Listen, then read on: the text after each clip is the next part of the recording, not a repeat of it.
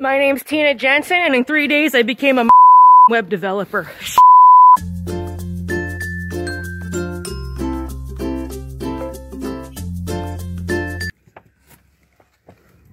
Three days.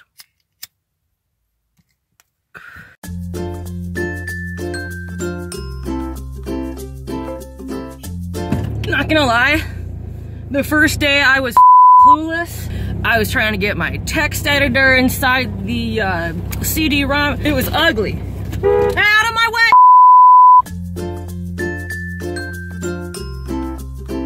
Second day was fine. Second day was fine.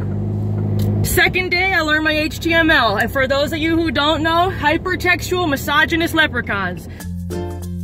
Third day it was a breeze. I learned CSS, completely stylistic, subhuman, markup language, baby. I got it.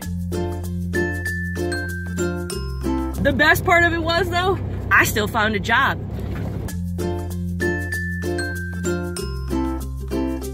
Oh, you mean like got a job? I thought you said found a job, because I found about 500 jobs. I didn't get one, though.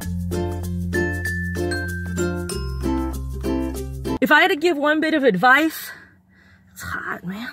I'd say don't even bother with JavaScript. I don't know. I don't know like who uses that in 2018. All you need is some HTML. As long as you can write an H1, you got a job. Like I said, I found like 500. Team CodeCandymy.